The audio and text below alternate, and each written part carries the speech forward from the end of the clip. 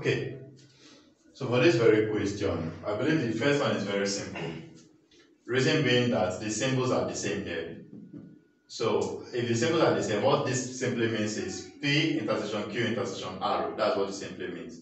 So I'm going to say I, which is P intersection Q intersection R, is simply, since all the symbols are the same, the answer is just what is common between the three sets, since all the symbols are the same.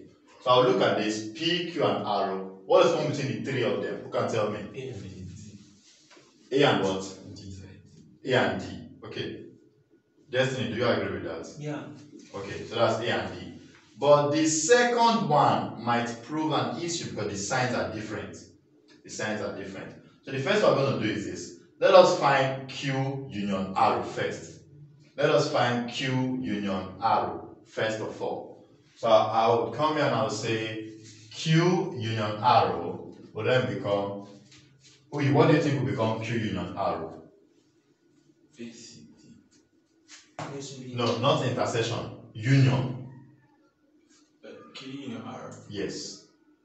A C D. A, C, D.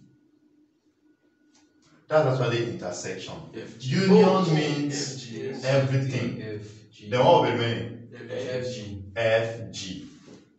So please do not confuse them. Do not confuse them. Union means you're writing everything. And then final guy, our two says P intersection Q union R.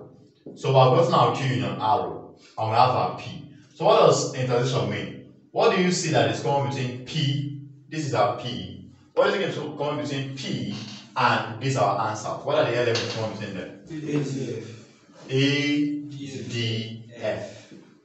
Okay, so um, with this, I believe I'm done with this part of um, set. So let us move to Venn diagrams and solve other um, problems in it. So we're going to move to Venn diagram. Remember, you can always drop your comments in the comment section, like and share to this um, this very video, subscribe to this channel. Thank you very much.